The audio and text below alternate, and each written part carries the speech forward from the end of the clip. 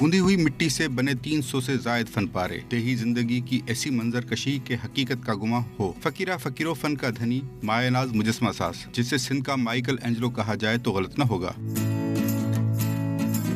مذہبی مورتیاں بنا کر کیریئر کا آغاز کرنے والے فقیرہ فقیروں کے فن کی پیاس بجھنے کے بجائے بڑھتی ہی چلی گئی۔ انہوں نے اپنے آرٹ کو محدود نہیں رکھا۔ فائبر گلاس اور پلاسٹر آف پیرس پر بھی کمالات دکھائے۔